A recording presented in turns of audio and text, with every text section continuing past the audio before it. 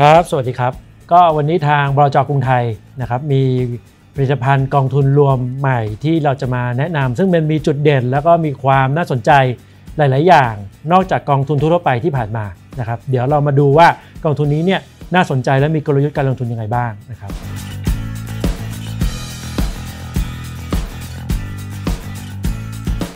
จริงเริ่มจากตัวกองทุนทั่วไปนะครับว่าเราได้คุยกับทางลูกค้าหรือว่าฟีดแบ็กหลาย ๆ อย่างมาเนี่ยมักมีคำถามเสมอ ๆ ว่ากองทุนเออนอกจากถ้าเกิดเราลงทุนไปแล้ว ได้ผลตอบแทนจากการลงทุน จากกำไรจากการลงทุนหรือปันผลแล้วเนี่ยมันมีโอกาสไหมที่จะได้รับผลตอบแทนอื่น ๆ หรือสิทธิประโยชน์อื่น ๆ เพิ่มขึ้นมา มันถึงเป็นที่มาบอกว่าด้วยเรื่องในปัจจุบันเนี่ยคนส่วนใหญ่เนี่ยสนใจเกี่ยวกับการลงทุนไม่พอ สนใจกับสุขภาพเป็นเทรนด์ในปัจจุบันเนี่ย มันถึงเป็นที่มาบอกว่าเรามองหา Product หรือคิด Product อะไรขึ้นมา เพื่อตอบโจทย์ให้กับนักลงทุนได้ทั้ง2อย่าง มันถึงเป็นที่มาของกองทุนนี้ครับ กองทุนนี้เนี่ยเราจะมีนโยบายการลงทุนเนี่ยลักษณะของกองทุนผสม สามารถที่จะไปลงทุนในสินทรัพย์ประเภทต่างๆ ได้นะครับไม่ว่าจะเป็นตราสารทุนทั้งในและต่างประเทศ รวมถึงตราสารหนี้ทั้งในและต่างประเทศ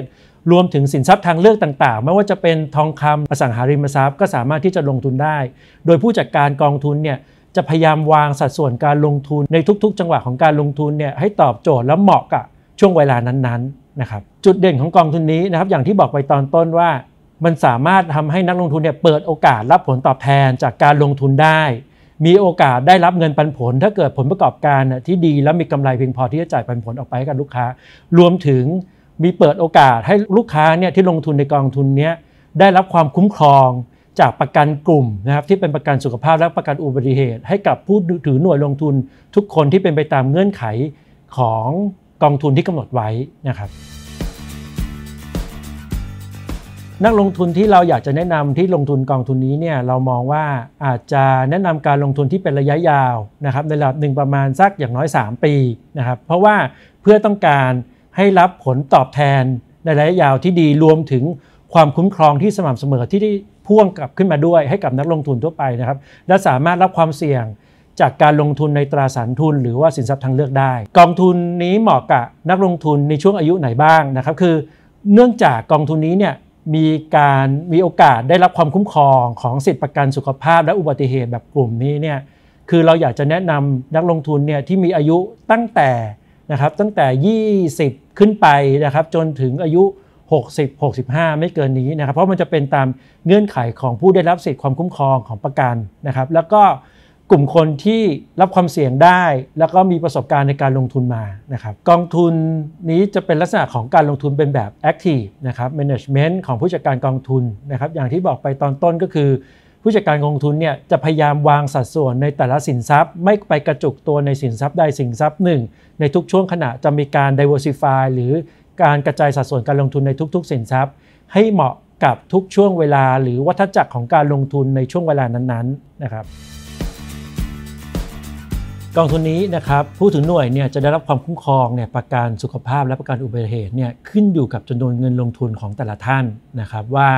มีจำนวนเงินลงทุนเนี่ยหรือยอด subscription เนี่ยเข้ามาในกองทุนนี้ที่สะสมอยู่เนี่ยเป็นเท่าไหร่นะครับโดยที่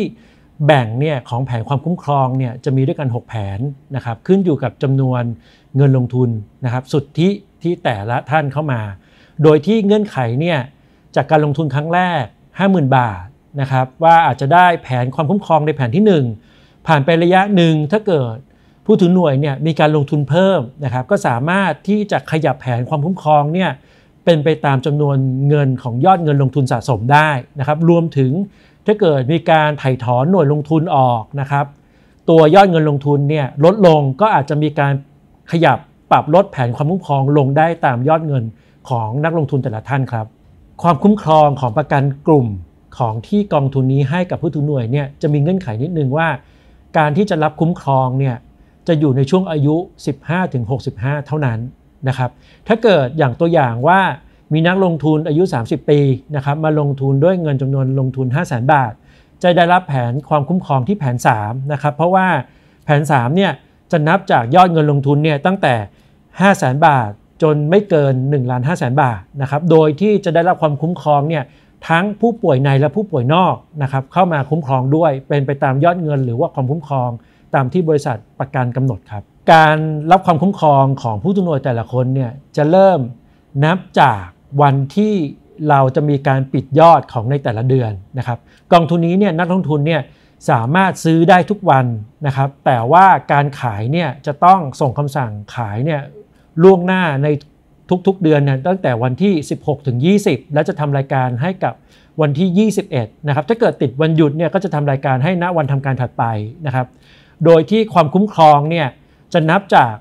วันที่เปรียบเสมือนวันปิดสมุดทะเบียนของเรานะครับ ทุกๆ สิ้นวันที่ 21 นะครับวันที่ทำรายการ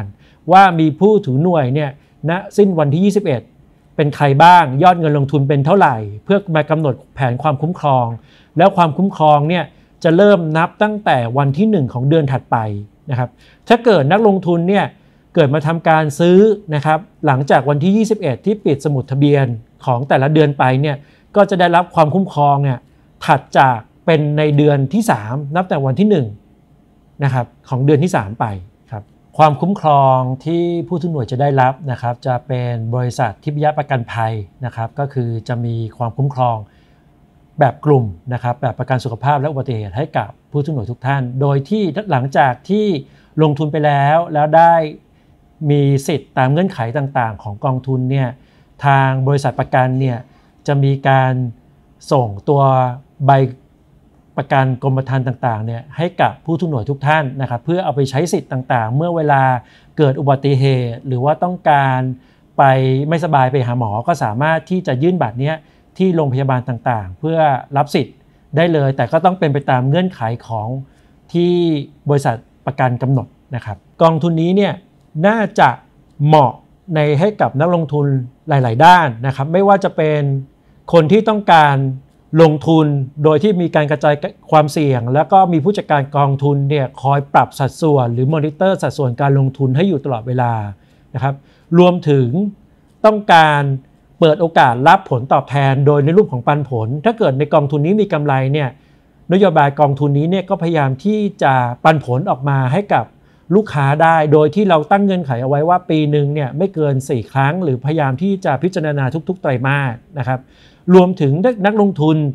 ที่ต้องการลงทุนรวมแล้วก็มีการไป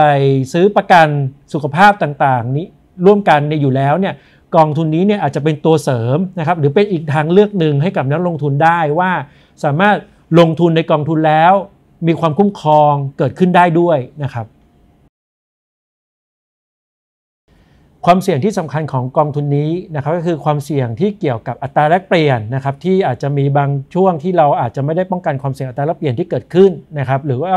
ความเสี่ยงในสินทรัพย์ทางเลือกที่ไปลงทุนในสินทรัพย์เสี่ยงประเภทต่างๆนะครับ เราจะเริ่มเสนอขาย IPO ครั้งแรกเนี่ยในช่วงวันที่3ถึง18 สิงหาคมนะครับ โดยที่ขั้นต่ำในการลงทุนเนี่ยในการเสนอขายครั้งแรกเนี่ยลงทุนอยู่ที่ 50,000 บาทครับ นักลงทุนถ้าเกิดสนใจนะครับสามารถติดต่อได้ที่ธนาคารกรุงไทยทุกสาขารวมถึงบรจกรุงไทยและตัวแทนขายสนับสนุนทุกที่ครับ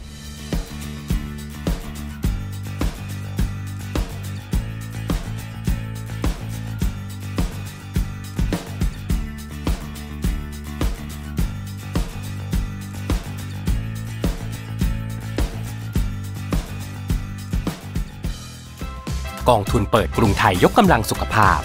คุ้มค่า เพราะมีคุ้มครอง ซื้อออนไลน์ได้ที่ KTM Smart Trade สะดวกรวดเร็ว ปลอดภัย KTM คิด ปรับทิศชีวิตให้ติดลมบน